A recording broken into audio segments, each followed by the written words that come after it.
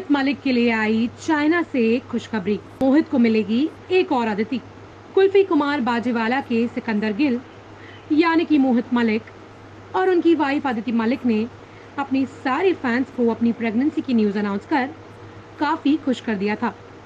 अदिति और मोहित दोनों ही अपनी क्यूट पिक्चर्स अपने इंस्टाग्राम हैंडल पर शेयर करते रहते हैं। वहीं में अदिति का एक बहुत ही ट्रेडिशनल तरीके में गोद भराई हुई, जिसकी तस्वीरें मोहित और अदिति ने अपने अपने इंस्टाग्राम हैंडल्स पर भी शेयर की।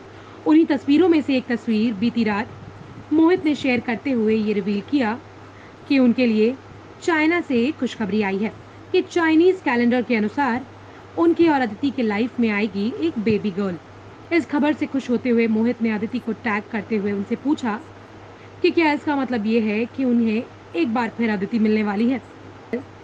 मोहित और अदिति जल्द ही पेरेंट्स बन जाएँगे। और अपने सारे फैंस संग अपने नन्हे बेबी की डिटेल्स भी शेयर करेंगे। एंटरटेनमेंट की दुनिया की सारी अपडेट्स के लिए बने रहिए हमारे साथ और हमारे चैनल को सब्सक्राइब करना ना भूलें।